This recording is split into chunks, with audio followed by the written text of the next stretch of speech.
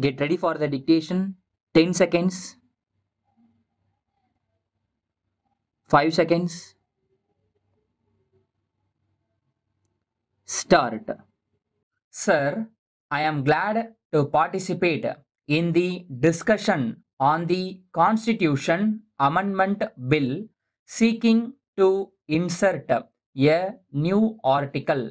As we know, this bill has been brought forward to make the right to work a constitutional provision.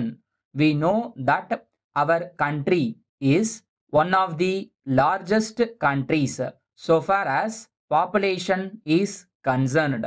We know that unemployment in the country has become a great problem. There is no doubt that the various sections of people are very much concerned about it. It is true that it is a concern for all the people in the country. We have always been talking about the seriousness of this problem and the way in which we can at least ease the situation in our nation. So, there is a demand for a long time from the people to make this right to work a constitutional right. The ruling party in its election manifesto gave an assurance that it would do this. But after coming to power, when the president addressed the parliament, there was no mention about this promise. Then there were criticisms in this house that this government were going back on their promise.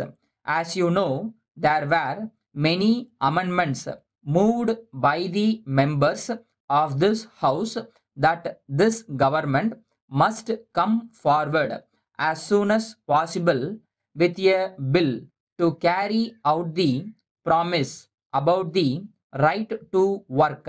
Then, of course, in the second address of the president, there was an assurance that the government would fulfill that promise. I am glad that the finance minister also has referred to it in his budget speech. It is a welcome step. I am sure that all of us will agree that the question is how the educated, unemployed people of this country will get the benefit. We know that it is not enough to put the right to work in the constitution. It will not help anybody. What we want is employment for all. That is our objective. The hope of lakhs of youth in both the rural and urban areas is employment and not the mere provision in the constitution. Of course, I agree that the provision is a good step, but I would like to know how the government are going to give employment to all those who are in need of it.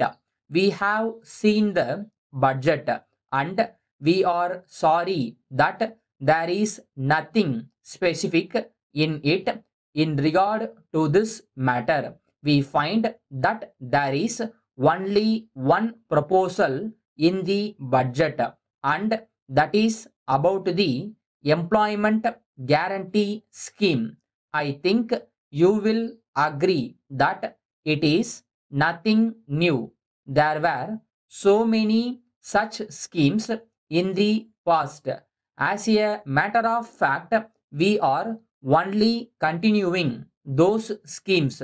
As we know, these schemes could not fulfill the desire of the people. So, I shall be glad to know the particular schemes that they have at the present time in order to provide employment to those who are in search of employment.